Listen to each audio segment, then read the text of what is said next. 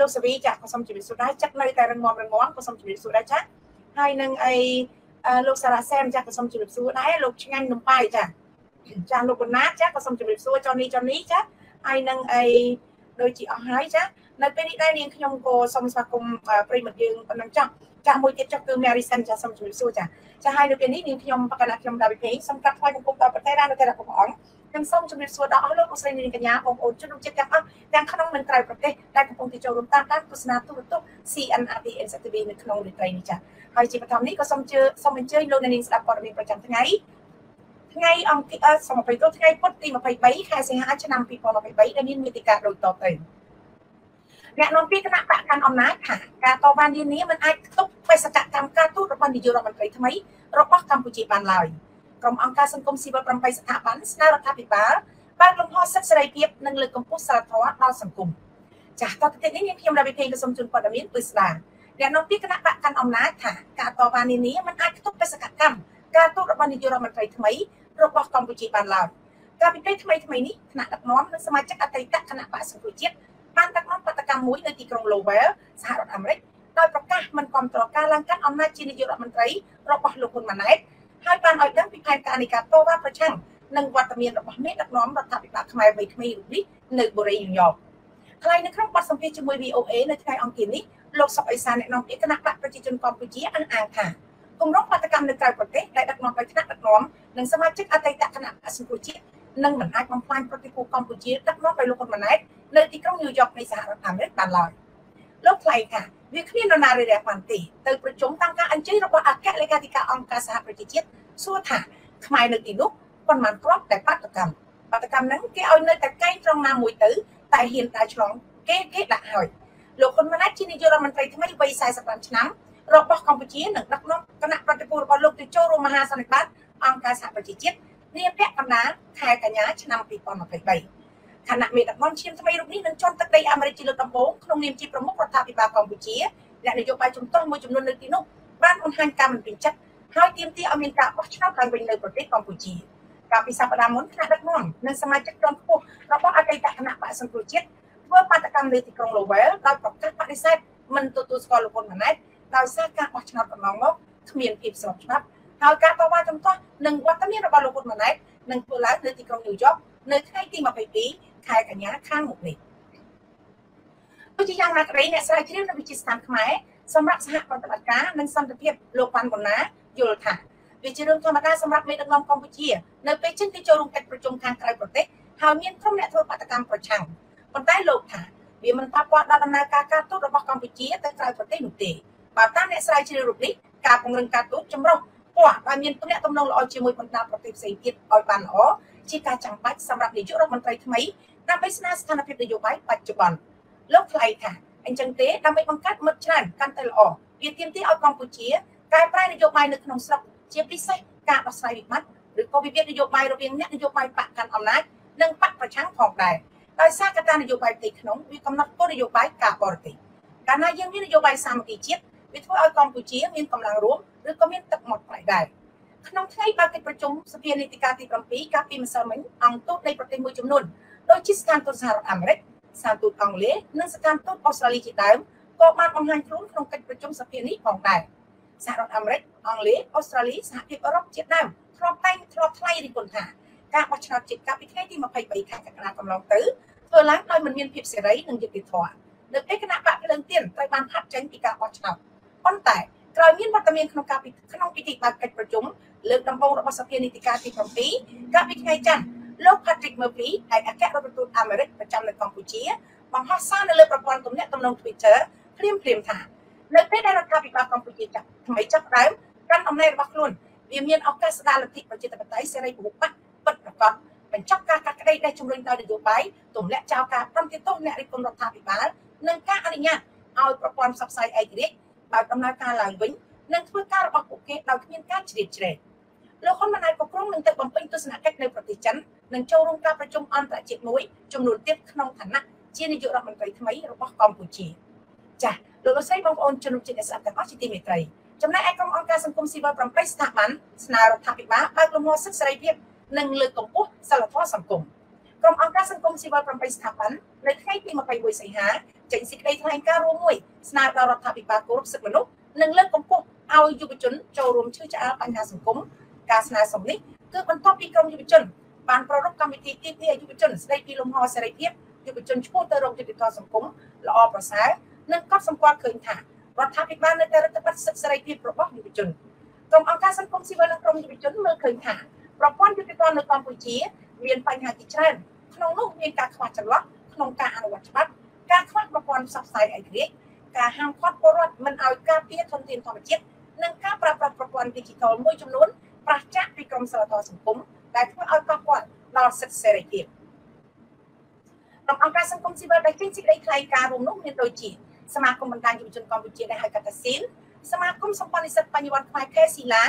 អង្គការសង្ខាល់និងអង្គការសង្គមសមត្ថភាពនិងអង្គការសមត្ថភាពកម្ពុជា EC ជាដើម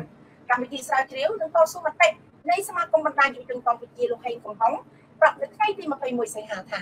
ការចេញសេចក្តីថ្លែងការណ៍រួមនេះក្នុងគោលបំណងបង្ហាញពីក្តីកង្វល់របស់យុវជនទៅកាន់រដ្ឋាភិបាលដើម្បីជំរុញឲ្យមានយុត្តិធម៌សង្គមលោកសង្ឃឹមថារដ្ឋាភិបាលនឹងទទួលសំណើនេះដើម្បីកែលម្អនៅចំណុចខ្វះខាត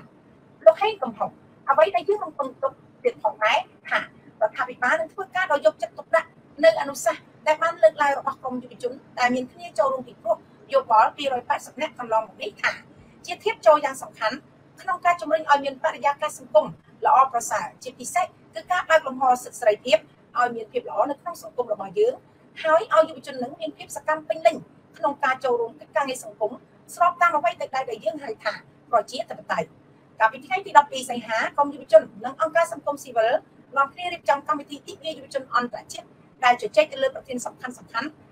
ចំនួន4រួមមានទី1ការគោរពសិទ្ធិមនុស្សនិងសេរីភាពបញ្ចេញមតិទី2ការលើកកម្ពស់ការចូលរួមការពារយុត្តិធម៌និងធនធានធម្មជាតិ ទី3ការអប់រំនិងសិលធម៌សង្គមនិងទី4សកម្មភាពនិយមលើ Digital ដើម្បីចូលរួមកែលម្អសង្គមក្រុមអង្គការសង្គមស៊ីវិលស្នើដល់រដ្ឋាភិបាលឲ្យពិចារណាលើការលើកឡើងរបស់ក្រមយុវជនពាក់ព័ន្ធនឹងការរដ្ឋបတ်សេរីភាពយុវជនចំពោះការចូលរួមការសង្គមការបាត់អញ្ញាប័ណ្ណផ្សព្វផ្សាយសារព័ត៌មានឯករាជ្យនិងការរាំងខ្ទប់មិនឲ្យចូលទៅអានព័ត៌មានលើគេហទំព័រមួយចំនួនកាលពីដើមឆ្នាំ2023ដែលធ្វើឲ្យយុវជនមិនអាចស្វែងយល់ពីបញ្ហាសង្គម ជានេះទៅទៀតសកម្មជនបរិស្ថាននិងសហគមន៍មូលដ្ឋានដែលតែងតែការពារធនធានធម្មជាតិបែរជាអាជ្ញាធរពិតសិទ្ធមិនឲ្យចូលបាត់ព្រៃដែលជាហេតុធ្វើឲ្យដែនជម្រកសត្វព្រៃឡង់និងតំបន់ឧស្សាហជាតិមួយចំនួនរងការកាប់បំផ្លាញស្ទើរតែខ្ទេចខ្ទីពួកគាត់ក៏ស្នើឲ្យអាជ្ញាធរបញ្ឈប់ការកាត់ជ្រៀតដីនៅតំបន់ធម្មជាតិឲ្យទៅក្រុមហ៊ុនឯកជននិងអ្នកមានលុយមានអំណាចពីព្រោះទង្វើនេះធ្វើឲ្យពលរដ្ឋដែលពឹងផ្អែកលើអនុផលព្រៃឈើ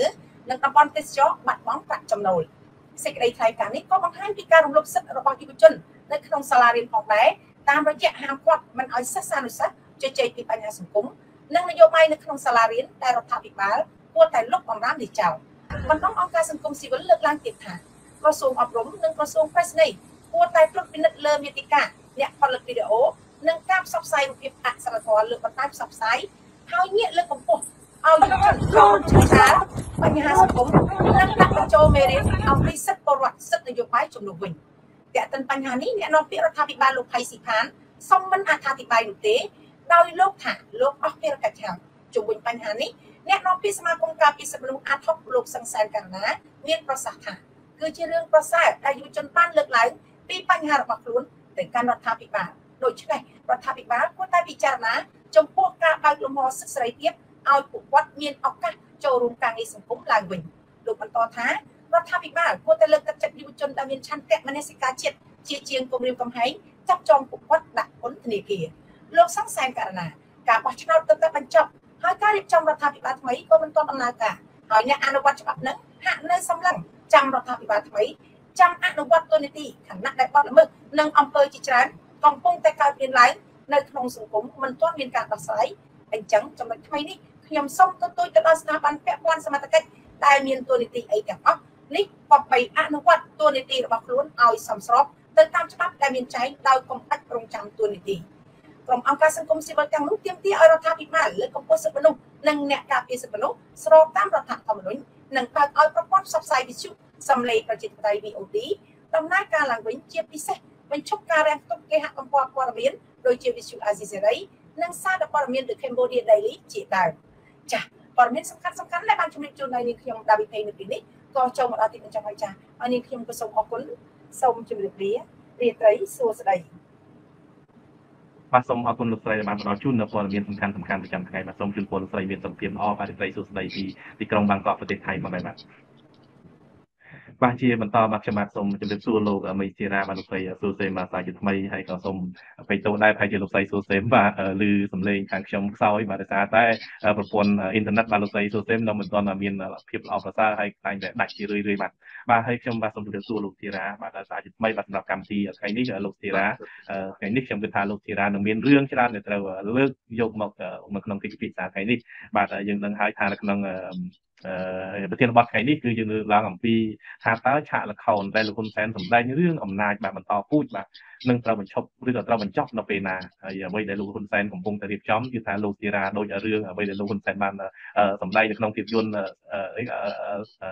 ទេវបុត្រក្រុមពលិវិចារអញ្ចឹងគឺថាវាបានបញ្ចប់ហើយប៉ុន្តែទាក់ទងនឹងរឿងអំណាចផ្ទាល់ខ្លួនរបស់លោកហ៊ុនសែនហាក់ដូចជាកំពុងតែសម្ដែងនៅឡើយទេមិនដឹងថាពេលណាបានចប់ទេលោកទីរា ហើយយើងឃើញហើយថាអ្វីដែលលោកហ៊ុនសែនបានលើកឡើងនៅក្នុងជំនួបបាទនៅក្នុងការផ្ដាំជាមតិយោបល់បាទចំពោះលោកហ៊ុនម៉ាណែតបាទគឺថាលោកហ៊ុនសែនដូចជាមានការសម្រក់ទឹកភ្នែកផងដែរជាមួយនឹងគាត់លើកឡើងថាគាត់បានដាក់កម្រេចយ៉ាងធ្ងន់ធ្ងរបាទចំពោះកូនរបស់គាត់ជាពិសេសគឺលោកហ៊ុនម៉ាណែតនឹងតែម្ដងហើយរៀបរាប់តាំងពីភាពកំសត់របស់លោកហ៊ុនម៉ាណែតដែលគេហៅថាការរៀបរាប់នេះគឺបងប្អូនប្រជាពលរដ្ឋខ្មែរក៏ដូចជាអ្នកវិភាគក៏បានថាជាការបោកសតតែម្ដងបាទហើយ តាកតងនឹងរឿងដែលអមេរិកនេះគឺខ្ញុំក៏មានការចាប់អារម្មណ៍ដែរលោកធីរ៉ាតើអមេរិកអ្វីខ្លះដែលជាការធ្ងន់ធ្ងរសម្រាប់លោកហ៊ុនម៉ាណែតបន្តពីលោកហ៊ុនសែនបាទសូមឆ្លើយបកស្រាយនៅសំណួរទី1របស់ខ្ញុំសិនសូមក្រុមជើងលោកធីរ៉ាបាទបាទអរគុណចា៎ទស្សនិកមុននឹងបកស្រាយក្នុងការខ្ញុំសូមក្រាបថ្វាយបង្គំទៅធីរ៉ានៅត្រែព្រះអង្គសូមជម្រាបសួរបងប្អូនជនជាតិខ្មែរនៅក្នុងក្រៅប្រទេស ដែលតាមដានតែតាមដានដល់កម្មវិធីផ្សាយរបស់យើងខ្ញុំតាំងពីដើមរៀងមកអ្វីដែលយើងមើលឃើញវាមានរឿងកំសត់ខ្លះវាមានរឿងបែបកំ pl ែងខ្លះទៅវាមើលមានគេហៅថារឿងតាក់ទងនឹងជាតិខ្លះទៅប៉ុន្តែឥឡូវវាមានកំ pl ែងផងវាមានកំសត់ផងវាមានរឿងតាក់ទងនឹងជាតិផងអញ្ចឹងមុននឹងទៅដល់រឿងតាក់ទងនឹងជាតិហ្នឹងវារឿងវែងតាក់ទងនឹងខេត្តប្រទេសជាតិអញ្ចឹងឥឡូវយើងរឿងដែលលោកហ៊ុនសែនលោកសុជាតិជាសំណួររបស់លោកសុជាតិហ្នឹង ខ្ញុំលើកពីរឿងកំ pl ែងមុនសិនបានដល់ធ្លាក់ទៅដល់អបែកតាក់ទងនឹងរឿងប្រទេសជាតិអញ្ចឹងរឿងកំ pl ែងវាហាក់បីដូចថាលោកហ៊ុនសែនគាត់ដើរគាត់ដើរតាមការយើងផ្សព្វផ្សាយបានមុនចឹងបានន័យថាយើងដឹងកម្រងផែនការលោកហ៊ុនសែនការសម្ដែងជាការបញ្ចេញសម្រក់ទឹកភ្នែកក៏ដូចជាហៅព្រឹត្តិការណ៍ដែលមានគេចង់សម្លាប់ហ៊ុនម៉ាណែតទៅជាដើមចឹងបាននៅព្រឹត្តិការណ៍កើតក្រោយអ្វីដែលយើងឃើញគាត់ប្រហើបមុនគាត់ប្រហើបមុនតាំងពីព្រឹត្តិការណ៍ថាមានការចង់សម្លាប់ហ៊ុនម៉ាណែតអីគាត់ចង់ឆ្កែរែងប្តឹងទៅខាងក្រុមហ៊ុន Facebook អីជាដើមហ្នឹង ចឹងយើងបានផ្សព្វផ្សាយរួចហើយថាគំនិតរបស់លោកហ៊ុនសែនរឿងបែកចេញពីទីក្នុងដែលគេអ្នករៀបចំ ចឹងរាល់កម្មព្រឹត្តិការណ៍នៅក្នុងប្រទេសកម្ពុជាវាមិនមែនលោកហ៊ុនសែនគាត់ទៅធ្វើម្នាក់ឯងទេក្នុងចំណោមអ្នកដែលទៅធ្វើនោះវាមានភាកច្រើនបើមិនភាកច្រើនទេយើងអាចទទួលបានព័ត៌មានពីខាងក្នុងទេចឹងព័ត៌មានភាកច្រើនជាពិសេសគឺនៅក្នុងកងអង្គរៈដែលមានផលលំបាកច្រើនដែលគេហៅថាมันពេញចិត្តរវាងគ្នានឹងគ្នាចឹងកងអង្គរៈមាន3ទៅ4ក្រុមដែលកំពុងតែប្រជុំមុខចាក់ដូចតែចាប់ក្តាមដាក់ចង្អេទាំងរញ៉េរញ៉ៃពេញទឹកពេញដីឥឡូវនេះរហូតដល់ការគ្រប់គ្រងអាវុធឆ្លើយដាក់គ្នាមិនដឹងជាក្រុមមួយណាដែលយកអាវុធចេញពីឃ្លាំងផងដែរចឹងអ្វីដែលលោកហ៊ុនសែនកំពុងប្រឈមដោយលោកសុជាតិបានសួរហ្នឹងគឺវាតកតងនឹងរឿងទាំងអស់ហ្នឹងអញ្ចឹងអ្វីដែលលោកសុជាតិថាអីមានការសម្រក់ទឹកភ្នែកដូចជាការសោកស្ដាយណាស់ក្នុងការផ្ទេរអំណាចផ្ទេរឲ្យទៅណាផ្ទេរឲ្យកូនគាត់នោះហើយគាត់នោះឯណាលះបង់អំណាចទោះបីជាក្នុងរូបភាពបែបណានោះទៅក្តោប5 50ទាំងអស់ទៅធ្វើការងារ5 50ទាំងអស់ប្រមូលគ្នាទៅនៅទៅជ្រកក្រោមលុបវាំងនោះណាដល់ស្អីស្កាស់នៅក្នុងអញ្ចឹងលើមើលឃើញរូបភាពជាក់ស្ដែងបានន័យថាមិនមែនលោកហ៊ុនសែនចំណាយគេហៅថាអំណាចទៅលើគេហៅថាដាក់ ដកចេញពីអរិញអំណាចផ្ដាច់ការរបស់គាត់ទេមិនមែនទេអញ្ចឹងគាត់រឹតតែប្រមូលផ្ដុំគ្នាបានន័យថាគាត់បោកគាត់និយាយរឿងបោកទេចឹងគាត់បោកអ្នកមន្ត្រីចាស់ចាស់ជាពិសេសរដ្ឋមន្ត្រីដោយលោកសខេងដោយលោកទាបាញ់លោកលោកហេងសំរិនឯជាដើមតែស្រីម៉ែនតំអនគាត់ប្រមូលទៅផឹកតែក្នុងវាំងអញ្ចឹងផឹកតែក្នុងវាំងបានទៅទៅផឹកតែដូចគ្នាណាបានន័យថាមន្ត្រីទាំងអស់នោះទៅផឹកតែដូចគ្នាបានមន្ត្រីទាំងអស់អ្នកចេញលុយមិនមែនតែអ្នកចេញលុយទេអញ្ចឹងបានគេប្រាប់ទៅផឹកតែដូចគ្នាហើយអ្នកចេញលុយប៉ុន្តែអ្នកដែលចាត់ចែងចង្អុលឲ្យអ្នកគួរធ្វើចេះធ្វើចុះគឺលោកហ៊ុនសែន ចឹងបានន័យថាហ៊ុនម៉ាណែតក្តាប់ខាងគេថាជាប្រមុខរដ្ឋក្តាប់រដ្ឋាភិបាលណាអឺប្រមុខរដ្ឋាភិបាលគឺដឹកនាំខាងផ្នែករដ្ឋាភិបាលគ្រប់គ្រងកាទីស្តីការគណៈរដ្ឋមន្ត្រីបានន័យថាមកមកកញ្ចប់របស់គាត់ទៅចំណែកលោកហ៊ុនសែនគាត់តោកអំណាចព្រះមហាក្សត្រព្រោះគាត់ថាអត់ខ្លាចគាត់អត់ហ៊ានលេងទេចឹងបើគាត់ថាគាត់ហ៊ានលេងវាអាចធ្វើមានឲ្យមានធ្វើឲ្យមានការធ្វើប្រហែលហេតុអីបានខ្ញុំនិយាយបែបថាលោកហ៊ុនសែនគាត់ប្រឹងមកគៀកនៅព្រះមហាក្សត្រព្រោះយើងដឹងហើយសត្រូវនយោបាយ សត្រូវនយោបាយរបស់លោកហ៊ុនសែនគឺសម្ដេចក្រមព្រះនរោត្តមរណរដ្ឋបងប្អូនជនជាតិបានដឹងហើយបានន័យថាដូចទឹកនឹងព្រេងចឹងពីអ្នកនឹងរហូតដល់សម្ដេចក្រមព្រះនរោត្តមរណរដ្ឋយាងចូលព្រះយាងចូលទីមង្គតទៅអញ្ចឹងក្នុងនាមជាកូនណាជាបុត្រយើងគិតថាគាត់មានអារម្មណ៍មួយថាជ្រះស្រឡះទៅក្នុងបិតារបស់ខ្លួនទេអត់ចឹងគំនុំនៅត្រូវតែមានអានឹងហើយដែរលោកហ៊ុនសែនគាត់ប្រយ័ត្នណាគាត់មកខ្ទាស់ចំកន្លែងព្រះមហាក្សត្រទៅជាប់អញ្ចឹងបើសិនជាមានព្រឹត្តិការណ៍ណាមួយដែលគាត់អត់ទុកចិត្តបុតរបស់ សម្ដេចក្រមព្រះនរោត្តមរណរដ្ឋទេដែលជាប្រធានគណៈបកហ៊ុនពេញទេអញ្ចឹងគណៈបកហ៊ុនពេញវាងាយណាបើមានឱកាសពេលណាគឺខ្លួនគណៈបកវិជនវិញហើយអញ្ចឹងលោកហ៊ុនសែនគាត់ដឹងអញ្ចឹងហើយបានគាត់មកខ្ទាស់ចំមកច្រឡោះព្រះមហាក្សត្រនឹងដើម្បីក្តោបព្រះមហាក្សត្រចេញទឹកអត់មានតារារួចទេណាកិច្ចការងារចាត់ចែងទូទៅរហូតដល់កន្លែងណាដែលវាមិនមានសារៈសំខាន់អានោះអាចលោកហ៊ុនសែនក៏អាចសម្រាប់អញ្ចឹងរឿងដែលលោកហ៊ុនសែនមកនៅក្បែរព្រះមហាក្សត្រហើយជាអាដាមក្រុមប្រឹក្សាព្រះមហាក្សត្រផងអរិទ្ធសម្បត្តិផង ហើយក៏ជាប្រធានព្រឹទ្ធសភាទៀតដែលអាចធ្វើកិច្ចការងារជំនួសព្រះមហាក្សត្របានណាយើងមើលឃើញរូបភាពដែលខ្ញុំហៅថាព្រះមហាក្សត្រស្ដីទីយកអញ្ចឹងយើងហៅតែម្ដងទៅវាអត់មានអីខុសទេទៅហើយប្រធានព្រឹទ្ធសភាគេច្រឡំពេញសម្រិតទៀតណាអញ្ចឹងយើងហៅព្រះមហាក្សត្រស្ដីទីទៅវាសំណុកស្ដាប់ជាងណាបើឃើញរូបភាពជាក់ស្ដែងដែលគេហៅថាអ្នកណាដែលរិះគន់គាត់តែទៅចាប់គេដាក់គុកតាមពិតរូបភាពគឺវាមានស្ដែងចេញតែម្ដងណាស្ដែងចេញពីរូបភាពដែលគាត់ចង់សោយរាជហ្នឹងរហូតដល់សារព័ត៌មានមួយដែលលើកឡើងថាតើគេហៅថាលោកហ៊ុនសែនអាចខ្លាយទៅជាព្រះមហាក្សត្របានទេបានតាមរយៈអី ការប្រើប្រាស់ច្បាប់របស់គាត់ហ្នឹងអ្វីក៏គាត់ធ្វើទៅរួចដែរយើងមើលកែរដ្ឋធម្មនុញ្ញណាបង្កើតរញនាយករដ្ឋមន្ត្រីណាគេថារុញចូលទៅបង្កើតរដ្ឋាភិបាលយើងមើលឃើញរញ៉េរញ៉ៃហើយគាត់ចាប់ដើមកែមកវិញណាគាត់ទៅជ្រុលដល់គេរិះគន់គាត់កែកែកែមកវិញគាត់ថាចឹងបាត់ន័យថាអ្វីដែលលោកហ៊ុនសែនធ្វើគឺវាអត់មានអ្វីឲ្យច្បាស់លាស់ទេចឹងអ្វីដែលលោកសុជាតិថាតើការសម្ដែងធ្វើជាទិញទឹកភ្នែកអាណិតអាសូរហ៊ុនម៉ាណែតនោះវាគ្មានអីគួរឲ្យអាណិតអាសូរទេយើងគិតមើលយើងមើលទៅ នេះបើលោកហ៊ុនសែនគាត់អាណិតជាតិឬក៏អាណិតកូនគាត់ជាតិដែលបាត់បង់ផលប្រយោជន៍រាប់ពាន់លានដុល្លារប្រជាពលរដ្ឋកំពុងតែជួបនឹងវិបត្តិសេដ្ឋកិច្ចធ្ងន់ធ្ងរនេះបែរជាលោកហ៊ុនសែនអត់ស្រក់ទឹកភ្នែកតែស្រក់ទឹកភ្នែកមនុស្សដែលទទួលបានអំណាចពីគាត់យើងគិតមើលមើលតើវាសមហេតុផលទេ ដែលប្រជាពលរដ្ឋរាប់លានអ្នកកំពុងតែស្ទើរតែដាច់បាយរងថ្ងៃគិតតែគាត់ប្រកបមុខរបរបានសួរតែលោកហ៊ុនសែនគាត់បានលើកពីផលប្រយោជន៍ជាតិមាតុភូមិទាំងអស់នោះស្រឡាញ់ទៅដល់ប្រជាពលរដ្ឋនោះ ណាគាត់ទឹកភ្នែកអាណិតអាសូរដែរប្រជាពលរដ្ឋដែលជួបរងនៅបំណុលរងនៅអភិបាលអយុធធម៌ដែលការបោកប្រាស់ពីអង្គការខ្លាំងខ្លាយទាំងអស់នោះ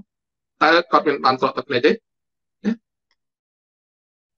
ជាចម្លើយគឺអត់មានទេចឹងបានន័យថាគាត់មិនដែលទៅយកចិត្តទុកដាក់មិនដែលបានយកទៅគិតចំពោះអរិញរាជប្រជាដែលបោះឆ្នោតឲ្យគាត់កាន់អំណាចទេចឹងគាត់គាត់អត់បានទេគាត់អត់បានគិតទេណាគាត់គិតទៅគ្រួសារកូនគាត់អាណិតកូនគាត់ឯណាវិញជាបរិបទរាប់លានអ្នកក៏បាត់បង់ការងារទៅបំផ្លាញទៅពុនណានគ្រោះ ផងតែពងនេះឲ្យអន្តរជាតិដក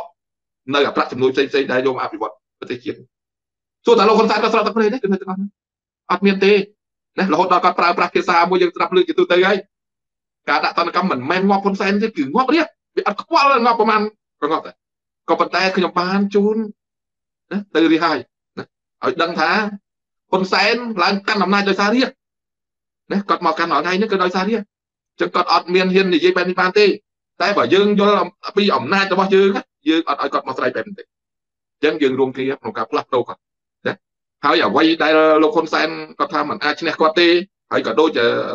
អ្នកនាំពាក្យរដ្ឋាភិបាលថាការធ្វើបាតកម្មហ្នឹងវាមិនមានអធិបុលអីមកណាប៉ះពាល់ទៅដល់ការឡើងស្នងតំណែងពីឪពុកមកកូននឹងទេណាអាហ្នឹងគឺខុសហើយណាខុសហើយហេតុអីបានខ្ញុំនិយាយខុស មិនមែនលោកហ៊ុនសែនគាត់ចំណាយវល់លៀនគាត់ចំណាយទាំងកម្លាំងពលំរបស់គាត់រហូតដល់គាត់អស់លទ្ធភាពនឹងធ្វើទៅមុខរួចហើយអញ្ចឹងមនុស្សដែលអស់អស់លទ្ធភាពគាត់និយាយថាដើរទៅមុខនេះរួចបើនៅទៅមុខរួចគាត់នៅតែបន្តអញ្ចឹងចាំបានន័យថាគាត់រងចាប់តែថ្ងៃទេថ្ងៃដែលគាត់ថាมันអាចធ្វើការងារកើតអញ្ចឹងអញ្ចឹងយើងមើលឃើញជាក់ស្ដែងក្នុងរូបភាពបែបហ្នឹង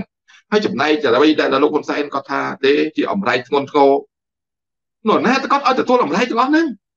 ណាគាត់ចាត់ចែងគ្រប់បែបយ៉ាងតាំងពីចៅឆក់ចៅប្លន់បលីរហូតដល់ អ្នកលក់លេគិតមើលមើលគាត់ទៅលោកប្រឡំនឹងចុកចុងណាណាដល់សែនស្មកក្រុង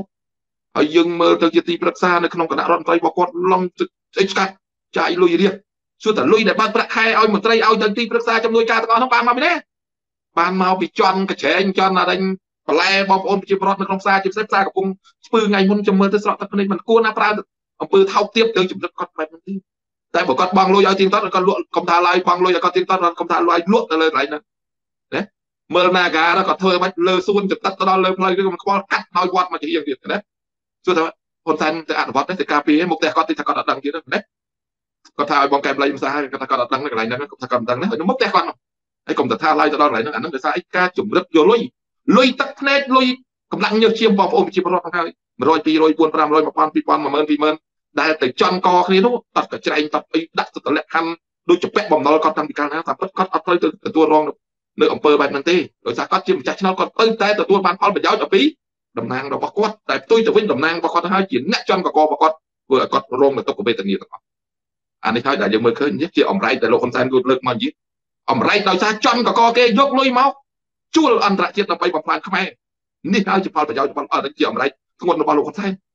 តែគាត់ខំប្រឹងច្បាច់ករៀសពគ្រប់បែបយ៉ាងយើងមើលឃើញណាបលិសចរាចរផងនៃការគោះទៅតាមការរស់ស៊ីរបស់ប្រជាពលរដ្ឋតូចតាចផង សពគ្រប់ដើរចាប់ចំណិតណាតាំងពីគ្រឿងញៀនណាគ្រឿងសវឹងសពគ្រប់បែបយ៉ាងយើងមើលឃើញរូបភាពជាក់ស្ដែងទាំងអស់នេះហើយដែលគាត់យកមកបើកប្រាក់ខែឲ្យអស់លោកទាំងអស់នោះហើយបើអស់លោកទាំងអស់នោះទីប្រាក់ខែរៀនហើយហើយមិនព្រមទៅការងារឲ្យលោកអូនតែនរែកអំរែកនៅម្នាក់ឯងយើងសប្បាយចេះទោះតែមានន័យទៅម៉េចអញ្ចឹងខ្ញុំជម្រាបបងប្អូនជនជាតិឲ្យបានដឹងទៅគំនិតរបស់លោកហ៊ុនសែននេះគេហៅថាពពួកទ្រូប្រាស់ពីរចេញក៏ត្រូវចូលក៏ត្រូវបានឡើងទឹកក៏ត្រូវចុះទឹកក៏ត្រូវហេតុអីបានខ្ញុំនិយាយបែបដូចនេះបងប្អូន ថ្ងៃនេះបានមើលឃើញការលុបចោលនៅជំនួយការនិងទីប្រឹក្សានៅក្នុងគណៈរដ្ឋមន្ត្រីក៏ដូចទីប្រឹក្សាជំនួយការរដ្ឋមន្ត្រីមួយចំនួនផងដែរឬក៏ក្រសួងស្ថាប័នមួយចំនួនអញ្ចឹងលោកហ៊ុនសែនគាត់លុបចោលយ៉ាងតិចក៏2000នាក់ដែរណាយ៉ាងតិចក៏2000នាក់ដែរបងប្អូនជនជាតិសួរថាលោកហ៊ុនសែនគាត់ធ្វើកំណែតម្រង់ណា2000នាក់ជាងនោះធ្វើកំណែតម្រង់មែនទេมันធ្វើកំណែតម្រង់ទេមើលកញ្ចប់រដ្ឋាភិបាលថ្មីរបស់គាត់ក្រំនៅខ្ញុំមើលឃើញត្រួសត្រាស1500នាក់ហើយក្រំនៅក្នុងគណៈរដ្ឋមន្ត្រី ណារដ្ឋមន្ត្រីរដ្ឋលេខាធិការនិងអនុរដ្ឋលេខាធិការនៅប្រធាននាយកដ្ឋានផ្សេងៗដែលនៅខាងក្រោមនោះនឹងជាប្រមាណទៅទៀតហើយសួរថាបានមកពីណាទោះបីមន្ត្រីទាំងអស់នោះមិនយកប្រាក់ខែក៏ដោយក៏អ្នកទាំងអស់នោះយកតួនាទីដែលខំបងលុយកតបកិច្ចរបស់គាត់នឹងយកទៅរកស៊ីច្បាច់ករៀសដដែលទេណាច្បាច់ករៀសដដែលទេអត់មានរឿងអីប្លែកទេបើនៅរាជសាមញ្ញដូចយើងចាប់បាច់យកតួនាទីមកទៅទៅទៅរកស៊ីអីបានដូចពួកខ្ញុំនេះឲ្យធ្វើជារដ្ឋមន្ត្រីក៏ខ្ញុំមិននឹងទៅរកអីបានទេបងប្អូនជនជាតិអ្នកស្គាល់ខ្ញុំច្រើនណាស់តែតែខ្ញុំក៏ទៅបានរកអីរកអីបានណា រកអត់បានទេមានដីមានផ្ទះមកកណោទៅជួលបានលុយមិនដាច់ចិត្តនិយាយរួមមកអស់ទៅណា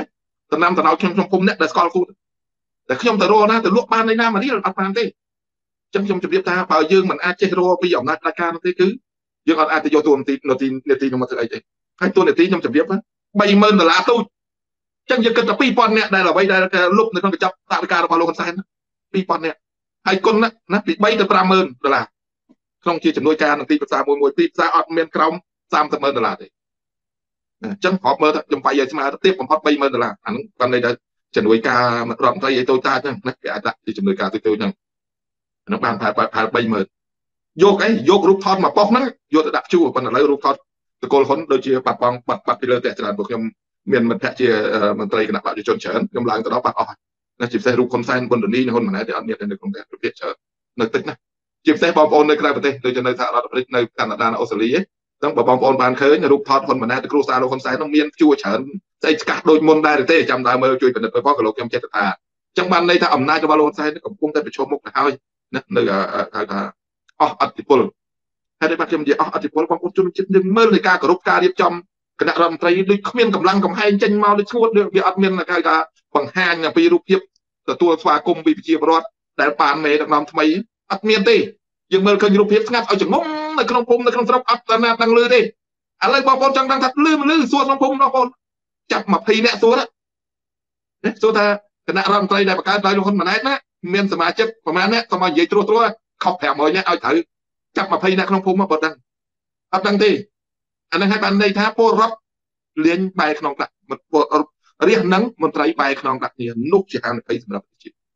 ដោះស្រាយមិនចេញទេបងប្អូនជនជាតិណាគឺគេខ្លាចបំផុតគឺការបែកក្នុងដាក់គ្នារវាងរះនឹងមន្ត្រីហេតុអី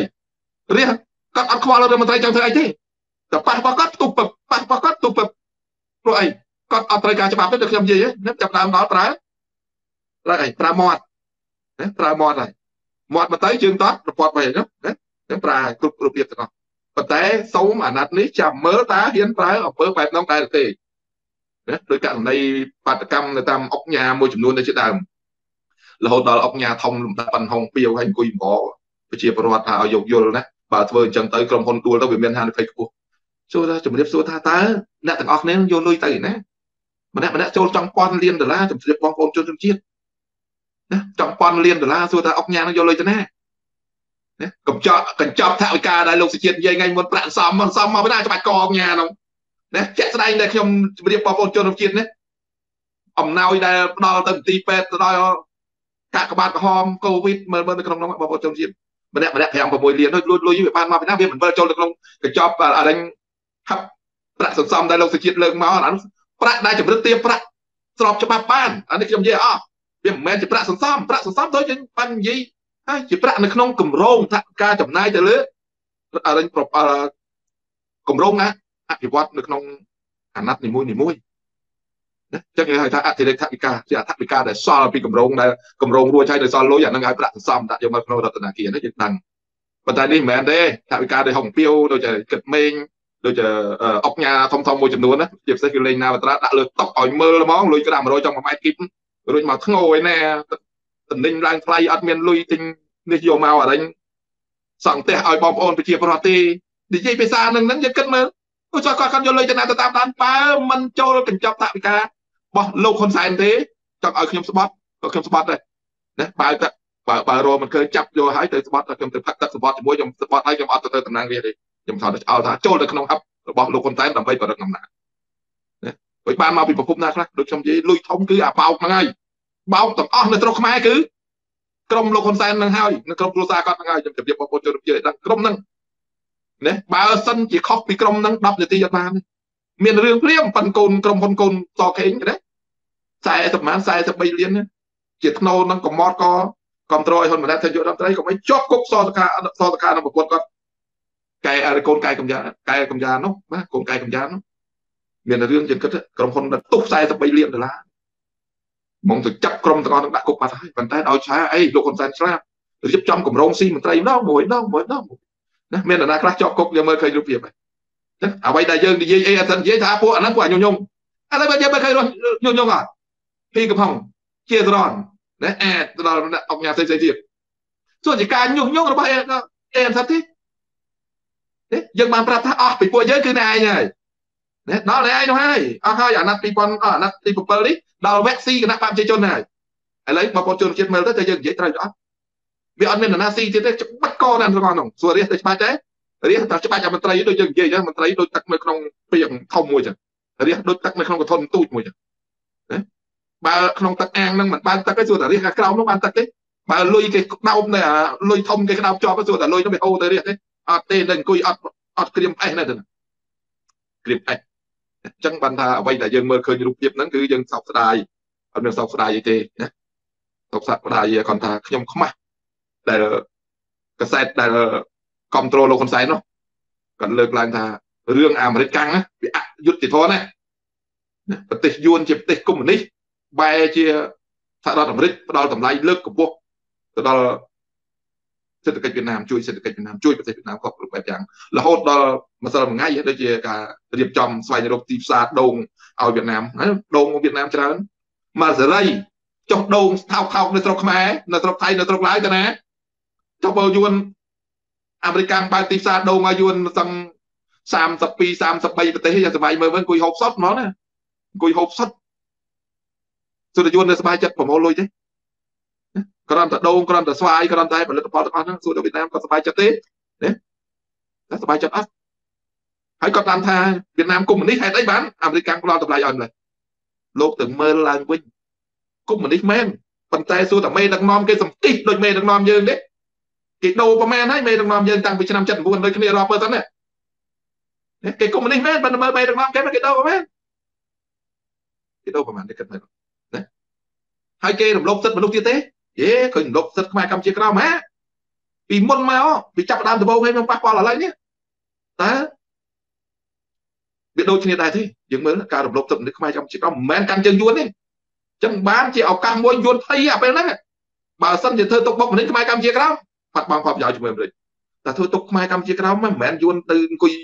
សងំសំណុកទេណាចូលបន្ទប់បន្ទប់មិនសិនតិចបាច់ញើសអានោះដល់ពេលគេសួររឿងសិទ្ធិនោះចឹងខ្មែរកម្ពុជាក្រោមយើងមើលឃើញរូបភាពចាក់ស្ដែងណាយួនបិទមិនអោយខ្លែងសត្វរកថាបាទអន្តរជាតិគេបើកឲ្យស្ដែងអត់មានរឿងអីមកបិទទេនេះជាការស្ដែងចាញ់ឲ្យជួយទៅយួនហ៊ានទៀតហ៊ានមករំលោភទេនៅក្នុងសុភាបែបហ្នឹងអត់វាអាចរំលោភបានទេអញ្ចឹងអ្វីដែលជាការស្ដែងចេញយើងមើលឃើញហើយយើងបាត់បង់ផលប្រយោជន៍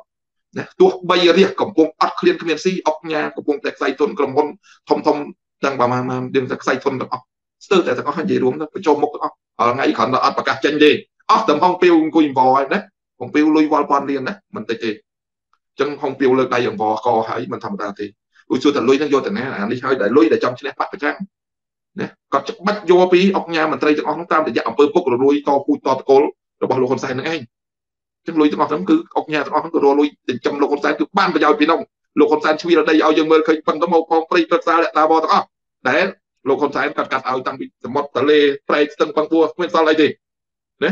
ទាំងអស់ក្នុងសុទ្ធតែយកលុយទៅណាអង្គញាហ្នឹងគាត់ហូបអស់ណាគាត់ហូបអស់ទេអញ្ចឹងគាត់ផ្ដល់ទៅឲ្យការបង្រឹងអំណាចលោកហ៊ុនសែនសួរថាហេតុអីបានពួកនឹងក្រអស់មិនបានប្រាច្រើនមិនលុយច្រើនតែតបបងប្អូនយើងកុំនិយាយអំពីប្រាក់ចំណូលផ្សេងផ្សេងយើងនិយាយតើ ពន្ធអនុគ្រោះវា1000វាចិត្ត1000លានដុល្លារបូកនឹងប្រាក់អត្ថប្រយោជន៍ប្រាក់ចំណេញពីពីការនាំចេញរបស់យើងខ្ញុំវាយ2500 2000ទៅ2500ដុល្លារអត់2000ទៅ2500លានក្នុងមួយឆ្នាំយ៉ាងតិច2000ទៅ2500លានយ៉ាងតិចក្នុងឆ្នាំយើងសប្បាយលើមើល5 5ឆ្នាំមួយអាណត្តិនេះ2500លានយើងប្រមូលអុកញ៉ាមកប្រទេសកម្ពុជាអត់បានរឿងអីវាមិនងាប់មកណា រឿងអីយើងគិតមើលមើលចំណូល2000អនុគ្រោះហ្នឹង2500លានក្នុងមួយឆ្នាំហើយទាពន្ធនានាបាន2000លានទៀតទៅវាបានបាន4500លានជិត5000លានណាចឹងខ្ចីគេ2500ទៅ3500លានទៅវាគ្រប់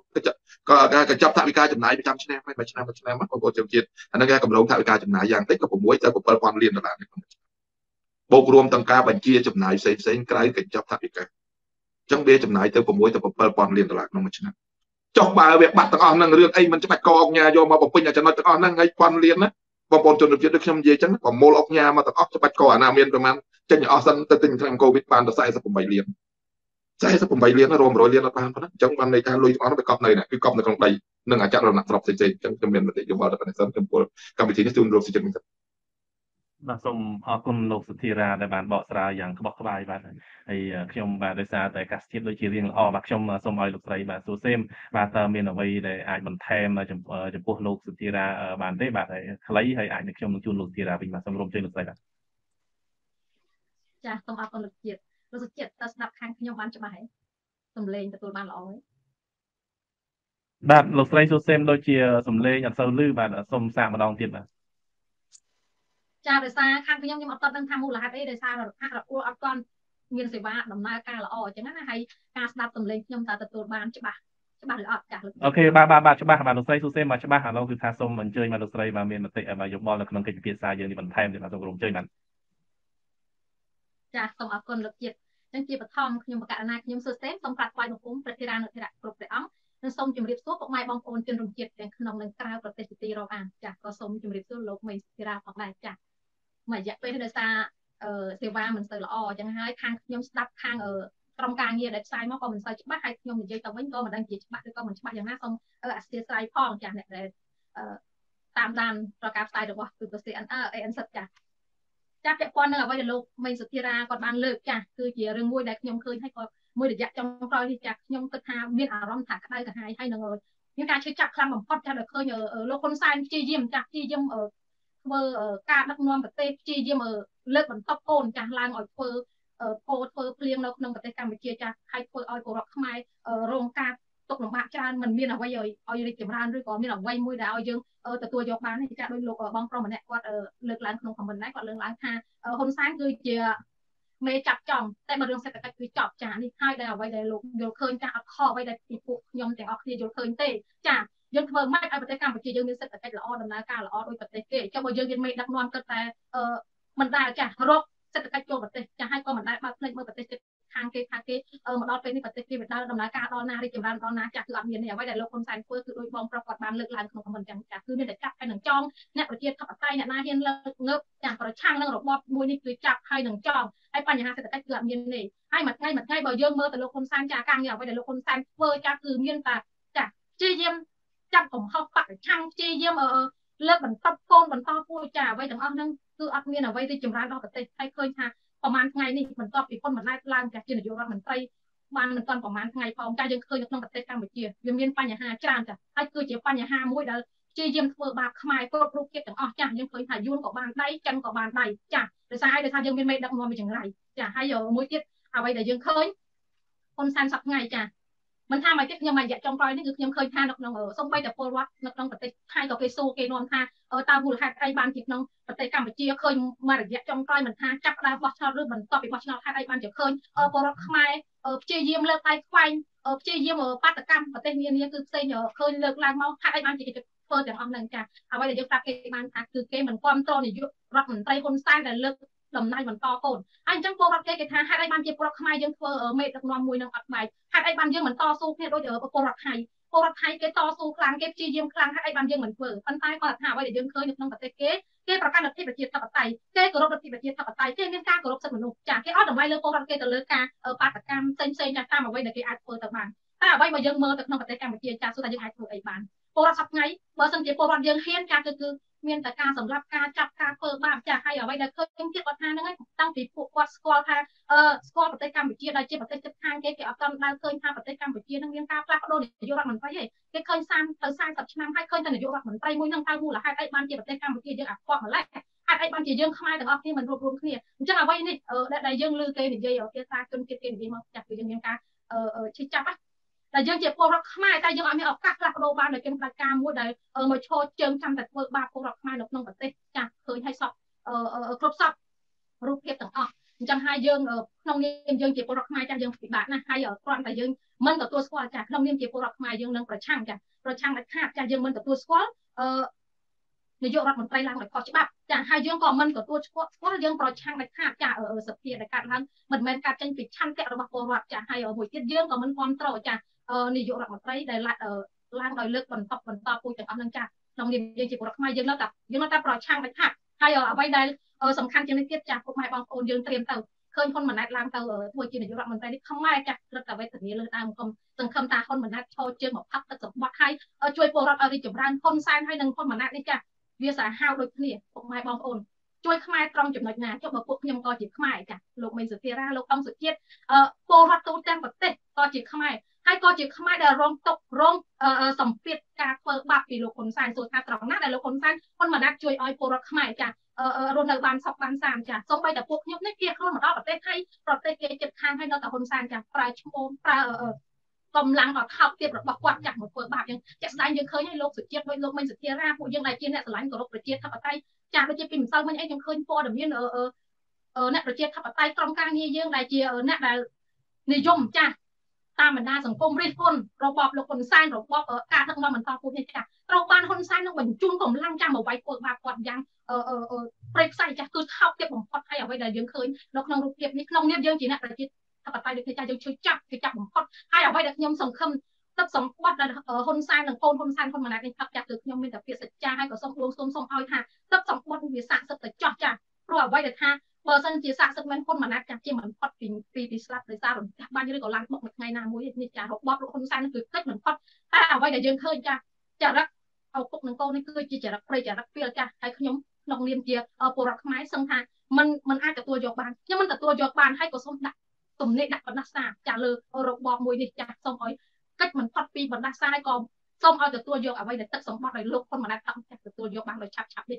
សូមសូមចូលរួមបណ្ដាចាស់លោកសុជាតិ សូមអរគុណលោកស្រីសុសេមបាទខ្ញុំងាកមកលោកសុធារាវិញម្ដងបាទគឺថាអ្វីដែលយើងឃើញកាលពីម្សិលមិញគឺថាលោក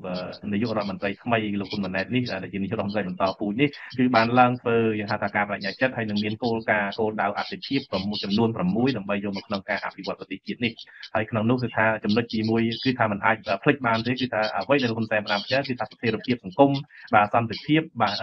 នឹងបាទมันមានដូចជាมันមានការផ្សព្វផ្សាយទៀតទេគឺថាគឺមានស្ថិរភាពហើយនៅ សុវត្ថិភាពហើយនិងសន្តិភាពនេះគឺជាគេហៅថាចំណុចមួយដែលការប្រើប្រាស់កម្ចាត់អ្នកវិជាតផ្សាយកន្លងមកគឺលោកហ៊ុនសែនតែងតែយកពាក្យនេះមកដាក់ធ្វើនាំចាក់នាំឲ្យកំតិចអ្នកវិជាតផ្សាយតែខ្ញុំលើកទៅចំណុចទី6បាទខ្ញុំរំលងចំណុចទី4ទី5បាទទី3ទី4ទី5បាទហើយដល់ទី6លោកហ៊ុនសែននឹងលើកឡើងលោកហ៊ុនម៉ាណែតលើកឡើងអំពីការអភិវឌ្ឍសេដ្ឋកិច្ចជាតិបាទលោកលោកទីរ៉ាហើយនៅក្នុងនោះឃើញផ្ដោតទៅលើវិស័យកសិកម្មបាទវិស័យកសិកម្មហើយខ្ញុំក៏នៅចាំមិនភ្លេចទេគឺថាការពីលោកហ៊ុនសែនក៏បានលើកឡើងអំពីវិស័យកសិកម្មនេះផងដែរដែលបន្ទាប់ពីបានលោកបណ្ឌិតយ៉ងសាំងកុមារទៅគឺថាលោកហ៊ុនសែនបានចាប់ផ្ដើមដាក់គោលនយោបាយកសិកម្មដូចជាមានគ្រូបង្គោលទៅតាមសហគមន៍បានបង្កើតជាសមាគមឬសហគមន៍កសិករទៅតាមបណ្ដាមូលដ្ឋានជាដើមហើយតើទាំងអស់នេះគឺជា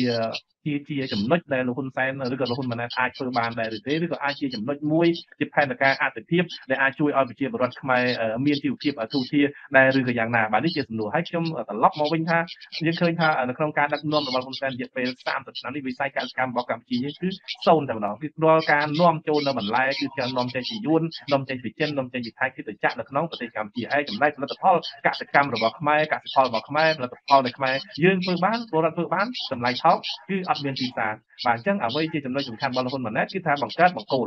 គូបង្គោលមិនថាបង្កើតជំនាញបច្ចេកទេសជាជារកទីផ្សារទៅវិញបាទលោកជារាយល់បែបណាដែរបាទសូមរំជើញបាទណែអរគុណច្រើនលោកសុជាតិឥឡូវខ្ញុំលើកជាត្រួសត្រាស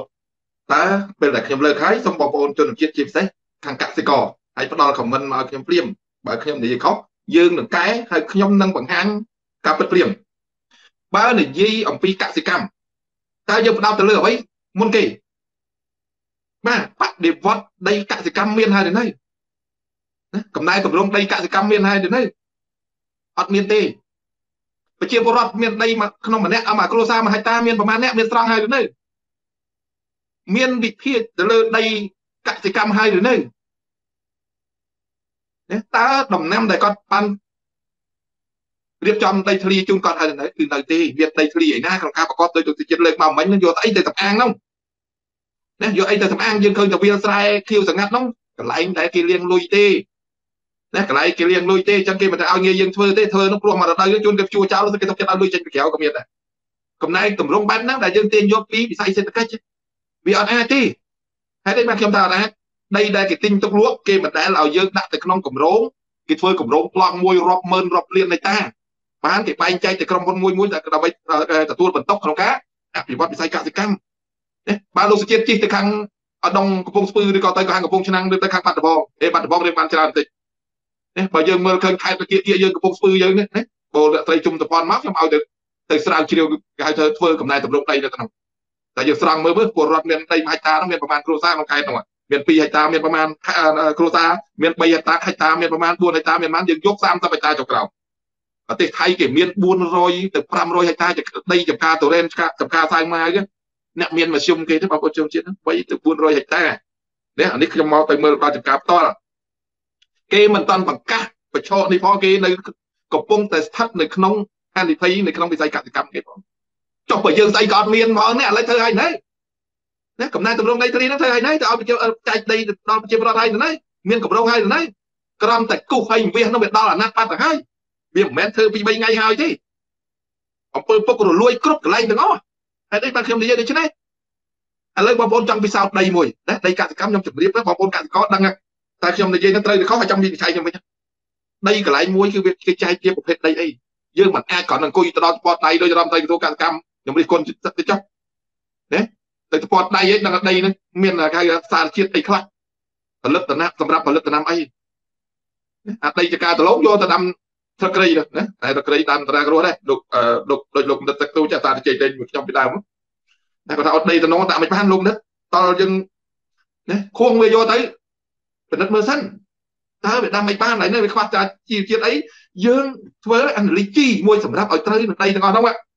តែបើយើងដាក់ទៅដំណាំហ្នឹងយើងប្រើជីហួសពីអាកម្រៃដែលយើងទួបានយើងអត់អាចទៅអាហ្នឹងគេធ្វើអាហ្នឹងគេទៅសិក្សាកម្រៃទម្រង់ដីសិនបើលោកហ៊ុនម៉ាណែតមកទៅចេះធ្វើចការធ្វើស្រែមិនស្រួលទៅកាន់ណាអង្គលជួ ចងាប់ចងល់ដោយលោកដិតទីណាដែលគេនាំគេសើចខឹងគេទៀតណាអត់ដំណឹងអីផងមិនចាំបាច់ទៅជួចុងទេណាហើយលោកបណ្ឌិតយ៉ងសង្គមាបើលោកបានមើលស្ដាប់អីអត់សិនតែយើងខ្ញុំបានជួបពីលោកកម្មាដល់តើតើណាកំណែតម្រង់ដីហ្នឹងអត់មានលោកធ្លាប់យកអីខ្លះយកមកឲ្យខ្ញុំពិនិត្យមើលតើវាគ្រប់សារសាររឹងធៀបសំនៅក្នុងបន្លែបកាគឺខ្ញុំអ្នកឆែកតែតំណែងផងវាគ្រប់ទេអត់គ្រប់ពងមន់ពងទាយកមកសុទ្ធឲ្យស៊ីស្រូវសុទ្ធម្ចាស់មកអង្គុយនេះចេញលទ្ធផលមក វាយអត់ចប់លេខមកបងប្អូនជនជាតិលពៅចេញមកសិតតែ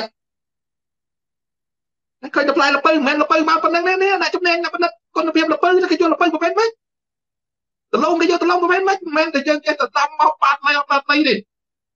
ហើយនរណារកឃើញមីលពៅមុនគេនៅក្នុងស្រុកខ្មែរគឺខ្ញុំនឹងហើយនេះសួរបណ្ឌិតយងសង្គមខ្លួនឯងទៅតំណែងប្រមាណដែលខ្ញុំមិនផលិតមកផលិតមកប៉ុន្តែវាទៅអត់រួចអារឿងចម្លងហ្នឹងតែនេះខ្ញុំជម្រាបអីអស់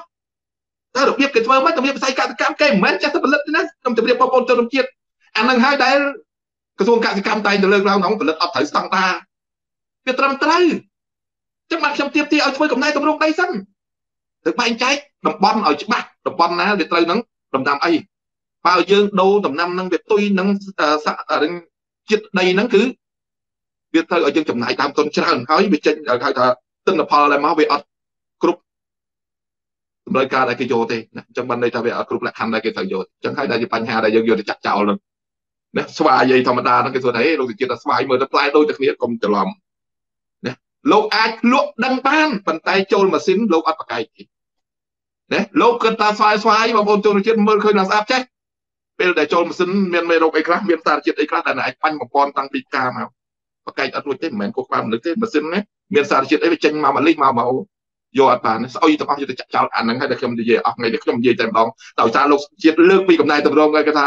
អឺគោលនយោបាយលើកកម្ពស់វិស័យកសិកម្មណាចឹងខ្ញុំលើកឡើងសួរថាបានធ្វើដល់នៅនៅទាំងអស់តែទេមកមិនបានទេទាំងអស់ណាមន្ត្រីដែលលោកសុជាតិលើកមកមិនខ្ញុំមិនចង់និយាយដើមទេទៅពតដៃទៅពីលើលឹងស្អែកទៅយកទៅយកទៅភៅមកកត់យកពីអារិញកសិករនោះទេយកពីកសិករនោះទេលោកសុជាតិណាទៅកត់មកធ្វើអីបានណា ខ្នល់អីយកតាំងពីពយកទៅតាំងដល់កូរ៉េយកតាំងដល់អ្នកដែលតាំងពីពសួរខ្ញុំឯនេះចង់ដឹងខ្ញុំប្រាប់ឈ្មោះព្រោះជួតែខ្នល់ហ្នឹងមានប្រមាណបោកគេកំងនោះមានទេណាបេះតបានប្រមាណរកអាណាល្អល្អយកទៅផ្សាយយកអាជេកអាណាយកទៅផ្សាយយកក្របផ្សាយចន្ទីយកមកឆែកដល់បាច់ផ្សេងមានមកប៉ាន់ឆែកក្នុងឯងតែយកទៅធ្វើអីតែអបកំណែតម្រង់ផ្សាយលើកពស់ផ្សាយកសកម្មតាមរយៈលៀងលុយខ្វក់នោះអាចខ្ញុំនិយាយអស់ចឹងបើទៅវាគ្មានអាចទៀតយក មកក្នុងបានទេយើងមើលវិស័យកសកម្មនៅជួនវិស័យកសកម្មនៅថៃតែយើងត្រូវដើរប្រហែលឆ្នាំទៀតបានទៅក្បែរគាត់បានណាប្រហែលឆ្នាំទៀតបានទៅក្បែរគាត់បានអញ្ចឹងខ្ញុំជម្រាបបងប្អូនជនជាតិយើងមិនមែនទៅធ្វើតាមអីតាមអារម្មណ៍ទេណាខ្ញុំនិយាយអស់ការបង្កើតអាជីវកម្មក៏ដោយការធ្វើរែងកំណែតម្រង់ដីកសិកម្មនេះគឺជារឿងសំខាន់បំផុតអញ្ចឹងដីតិចតិចមានដល់ហិកតាផងលោកសេចក្ដីគិតមើលរកចំណូលបានបានមួយឆ្នាំបានបានសមាជិកមានគ្នា5នាក់មានដី1ហិកតានោះ យកទៅធ្វើមានបានបានទេកុំថាឡើយស្រូវ1គីឡូ1200ណាអាវាធ្លាក់ដល់800ដែរបើយើងមើលឃើញចាក់ដែរបើតែខ្ញុំឲ្យ1200ឲ្យ5000ទៀតក៏ដល់ធ្វើមានបានបានដែរព្រោះគ្នាគាត់6 7នាក់ឲ្យដី1ហិកតានោះលោកសុជាតិឲ្យគិតមើលទៅឲ្យ7តោនចុះ1ហិកតានោះទៅ3សានបាន7តោនទៅចុះណាយើងគិតមើលធ្វើម៉េចក៏ដោយបាន7តោនហើយយក7តោននោះយកគុណចំនួនលុយ1000អ2000រៀលចុះឲ្យ2000រៀលយកទៅគុណនឹងចំនួន7តោននោះហើយយកមកចែកចំនួនសមាជិកគ្រួសារគាត់ឲ្យគិតមួយឆ្នាំ ឃើញហើយមួយឆ្នាំសល់បាន iPhone មួយឯងសល់ iPhone មួយទេអត់បានទេ